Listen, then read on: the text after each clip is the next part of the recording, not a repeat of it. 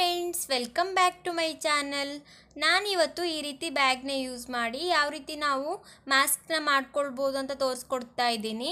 ನಿಮ್ಗೆಲ್ಲರಿಗೂ ಗೊತ್ತಿರ್ಬೋದು, ಈಗ ಕೊರೋನಾ ಅನ್ನೋ ವೈರಸ್ ಇರೋದ್ರಿಂದ ನಾವು ಯಾರೂ ಆಚೆ ಹೋಗಬಾರ್ದು, ಹೋಗ್ಬೇಕಿದ್ರೂ ಕೂಡ ಮಾಸ್ಕ್ ಹಾಕಿ ಹೋಗಬೇಕು ಅಂತ. ಆದರೆ ಬೇಜಾರಿನ ವಿಚಾರ ಏನಪ್ಪ ಅಂದರೆ, ತುಂಬ ಕಡೆ ಮಾಸ್ಕಿಗೆ ರೇಟ್ ಜಾಸ್ತಿ ಮಾಡಿದ್ದಾರೆ ಮತ್ತು ತುಂಬ ಕಡೆ ಸಿಗ್ತಾನೂ ಇಲ್ಲ. ಹಾಗಾಗಿ ನಾವು ಈಸಿಯಾಗಿ ಮನೆಯಲ್ಲೇ ಇದನ್ನು ರೆಡಿ ಮಾಡ್ಕೊಳ್ಬೋದು. ಮಾಸ್ಕ್ ಮಾರ್ಕೆಟಲ್ಲಿ ಸಿಗ್ತಾ ಇಲ್ಲ ಅಂತ ನಾವು ಆಗದೆ ಕೂಡ ಆಚೆ ಹೋಗೋದಕ್ಕಾಗೋದಿಲ್ಲ. ಹಾಗಾಗಿ ನಾವು ಈಸಿಯಾಗಿ ಇವತ್ತು ಮನೆಯಲ್ಲೇ ರೆಡಿ ಮಾಡೋಣ. ನಾನು ಇದನ್ನು ಸ್ಟಿಚಿಂಗ್ ಮಿಷಿನಲ್ಲಿ ಹೊಲಿತಾ ಇರೋದು. ನನ್ನ ಹತ್ರ ಮಿಷಿನ್ ಇರೋಗೋಸ್ಕರ ನಾನು ಇದನ್ನು ಸ್ಟಿಚಿಂಗ್ ಮಿಷಿನಲ್ಲಿ ಹೊಲಿತಾ ಇದ್ದೀನಿ. ತುಂಬ ಜನರ ಹತ್ರ ಮಿಷಿನ್ ಇರೋದಿಲ್ಲ. ಆ ಥರದವ್ರನ್ನ ಯಾವ ರೀತಿ ಮೆಥಡಲ್ಲಿ ತೋರಿಸ್ಕೊಟ್ಟಿದ್ದೀನೋ ಅದೇ ರೀತಿ ಕೈಯಲ್ಲೂ ಕೂಡ ಹೊಲ್ಕೊಳ್ಬೋದು. ಎಲ್ಲರ ಮನೆಯಲ್ಲಿ ಸೂಜಿ ದಾರ ಅಂತೂ ಇದ್ದೇ ಇರುತ್ತಲ್ವ? ಹಾಗಾಗಿ ಸೂಜಿ ದಾರದಿಂದ ಕೂಡ ಹೊಲ್ಕೊಳ್ಬೋದು. ಹಾಗಿದ್ರೆ ಬನ್ನಿ ಫ್ರೆಂಡ್ಸ್ ಇವತ್ತಿನ ವಿಡಿಯೋನ ಬೇಗ ಶುರು ಮಾಡೋಣ.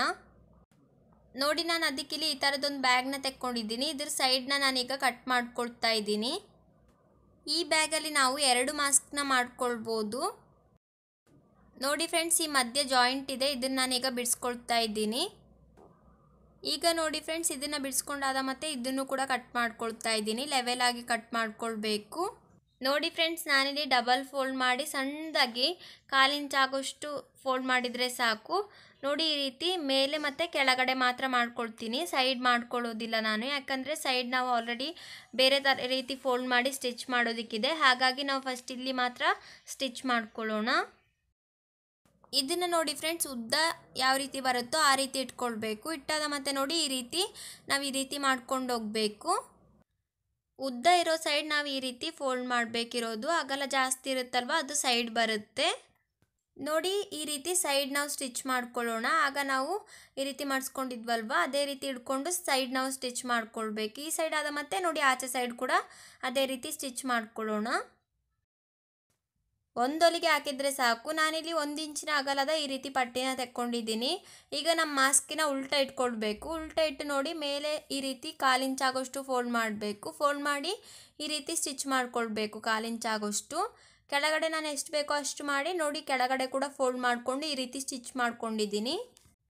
ಅದಾದ ಮತ್ತೆ ನೋಡಿ ಫ್ರೆಂಡ್ಸ್ ಇದನ್ನು ಈ ರೀತಿ ಸೀದಾ ಮಾಡ್ಕೊಳ್ಬೇಕು. ಸೀದಾ ಮಾಡಿ ಈ ರೀತಿ ಫಸ್ಟ್ ಒಂದು ಫೋಲ್ಡ್ ಮಾಡಬೇಕು ಸಣ್ಣದಾಗಿ. ಅದಾದ ಮತ್ತೆ ಇನ್ನೊಂದು ಫೋಲ್ಡ್ ಈ ರೀತಿ ಮಾಡಿ ಈ ಕೊನೆಗೆ ಸ್ಟಿಚ್ ಮಾಡ್ಕೊಳ್ಳೋಣ. ನೋಡಿ ಈ ರೀತಿ ನಾನು ಕೊನೆವರೆಗೂ ಸ್ಟಿಚ್ ಮಾಡ್ಕೊಳ್ತಾ ಇದ್ದೀನಿ. ಈ ಸೈಡ್ ಯಾವ ರೀತಿ ನಾವು ಸ್ಟಿಚ್ ಮಾಡಿದ್ವೋ ಅದೇ ರೀತಿ ಈಚೆ ಸೈಡ್ ಕೂಡ ಮಾಡ್ಕೊಳ್ಬೇಕು. ನಾನಿಲ್ಲಿ ನಾಲ್ಕು ಇಂಚಿನ ಉದ್ದದ ಎಲಾಸ್ಟಿಕ್ನ ತೆಕ್ಕೊಳ್ತಾ ಇದ್ದೀನಿ. ನೋಡಿ ನಾಲ್ಕು ಇಂಚಿನ ಮಾರ್ಕ್ ಮಾಡಿ ಈ ರೀತಿ ಕಟ್ ಮಾಡ್ಕೊಳ್ತಾ ಇದ್ದೀನಿ. ನಮಗಿಲ್ಲಿ ಎರಡು ಎಲಾಸ್ಟಿಕ್ ಬೇಕು. ಎರಡು ಕೂಡ ನಾಲ್ಕು ನಾಲ್ಕು ಇಂಚಿನ ಉದ್ದದ್ದು ಬೇಕು. ಈಗ ನೋಡಿ ಮಾಸ್ಕಿನ ಉಲ್ಟ ಇಟ್ಕೊಳ್ಬೇಕು. ಉಲ್ಟ ಉಲ್ಟಕ್ಕೆ ಈ ಎಲಾಸ್ಟಿಕ್ನ ಈ ರೀತಿ ಇಟ್ಟು ಫಸ್ಟು ಜಿಗ್ಜ್ಯಾಗ್ ಮಾಡೋ ರೀತಿ ಹೊಲ್ಕೊಳ್ಬೇಕು. ಅದಾದ ಮತ್ತೆ ನೋಡಿ, ಅದೇ ರೀತಿ ಕೆಳಗಡೆವರೆಗೆ ಹೊಲ್ಕೊಂಡು ಬನ್ನಿ. ಕೆಳಗಡೆ ಕೂಡ ಈಗ ಸರಿಯಾಗಿ ಇಟ್ಟು ಇಲ್ಲಿ ಕೂಡ ಜಿಗ್ಜ್ಯಾಗ್ ಮಾಡೋ ರೀತಿ ಹೊಲ್ಕೊಳ್ಬೇಕು. ನಾವು ಇದನ್ನು ರಾಂಗ್ ಸೈಡಲ್ಲಿ ಹೊಲ್ಕೊಳ್ಬೇಕಿರೋದು. ನೋಡಿ ಈ ಸ್ಟಿಚ್ ಮಾಡಿದ ಮತ್ತೆ ಅದ್ರ ಪಕ್ಕದಲ್ಲೇ ಇನ್ನೊಂದು ಸ್ಟಿಚ್ ಕೂಡ ಮಾಡ್ಕೊಳ್ಳೋಣ. ನಿಮ್ಮ ಹತ್ರ ಎಲಾಸ್ಟಿಕ್ ಇಲ್ಲದೆ ಇದ್ದರೆ ತೊಂದರೆ ಏನೂ ಇಲ್ಲ. ಬ್ಯಾಗಿಲಿ ಇನ್ನೂ ಕೂಡ ಉಳಿದಿರುತ್ತಲ್ವ? ಅದರಲ್ಲಿ ನೀವು ಸ್ಟ್ರಿಪ್ಸ್ನ ಕಟ್ ಮಾಡ್ಕೊಳ್ಳಿ. ಅದಾದ ಮತ್ತೆ ನಾವೀಗ ಎಲಾಸ್ಟಿಕ್ನ ಅಟ್ಯಾಚ್ ಮಾಡಿಲ್ವ? ಎರಡು ಸೈಡ್ಲು ಕೂಡ ನಿಮ್ಗೆ ಎಷ್ಟು ಉದ್ದ ಬೇಕೋ ಅಷ್ಟು ಉದ್ದದ ಎರಡೆರಡು ಸ್ಟ್ರಿಪ್ಸ್ನ ಅಟ್ಯಾಚ್ ಮಾಡಬೇಕು. ಅಂದರೆ ಮೇಲೆ ಎರಡು ಸ್ಟ್ರಿಪ್ಸ್ ಕೆಳಗೆ ಎರಡು ಸ್ಟ್ರಿಪ್ಸ್ ಈ ಸೈಡ್ ಕೂಡ ಅದೇ ರೀತಿ ಮೇಲೆ ಎರಡು, ಕೆಳಗಡೆ ಎರಡು, ಆ ರೀತಿ ನೀವು ಅಟ್ಯಾಚ್ ಮಾಡಿಕೊಳ್ಬೇಕು. ನೋಡಿದ್ರಲ್ಲ ಫ್ರೆಂಡ್ಸ್ ಇವತ್ತಿನ ವಿಡಿಯೋ ನಿಮ್ಗೆ ಯೂಸ್ಫುಲ್ ಆಗಿದೆ ಅಂತ ಭಾವಿಸ್ತೀನಿ. ಯೂಸ್ಫುಲ್ ಆಗಿದ್ದರೆ ಪ್ಲೀಸ್ ಲೈಕ್ ಮಾಡಿ ಮತ್ತು ನನ್ನ ಚಾನಲ್ಗೆ ಸಬ್ಸ್ಕ್ರೈಬ್ ಆಗಿ. ನಿಮ್ಮ ಫ್ರೆಂಡ್ಸ್ ಆ್ಯಂಡ್ ಫ್ಯಾಮಿಲಿ ಜೊತೆ ಈ ವಿಡಿಯೋನ ಶೇರ್ ಕೂಡ ಮಾಡ್ಬೋದು. ಶೇರ್ ಮಾಡೋದ್ರಿಂದ ಅವ್ರಿಗೂ ಕೂಡ ಯೂಸ್ಫುಲ್ ಆಗುತ್ತೆ. ಇವತ್ತಿನ ವಿಡಿಯೋ ಬಗ್ಗೆ ಏನೇ ಡೌಟ್ ಇದ್ದರೂ ಕೂಡ ಕಮೆಂಟ್ ಸೆಕ್ಷನಲ್ಲಿ ಕಮೆಂಟ್ ಮಾಡಿ ತಿಳಿಸಿ. ಮುಂದಿನ ವಿಡಿಯೋದಲ್ಲಿ ಮತ್ತೆ ಸಿಗೋಣ friends thank you for watching